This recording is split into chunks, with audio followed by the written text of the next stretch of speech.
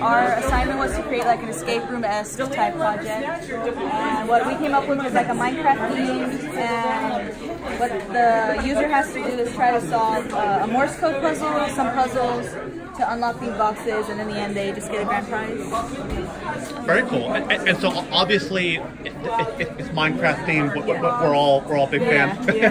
how, how long did, it, did all this t- take to, to, to put together? So me and Julian actually created the website. It was about two to three hours. Oh, okay.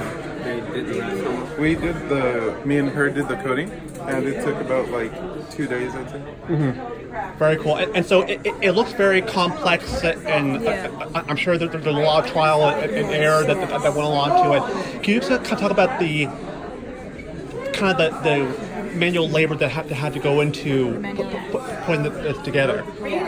So some of the issues we faced with the coding was the main issue was if we miss a little comma here, the entire code wouldn't work. A little space here, the code wouldn't work again.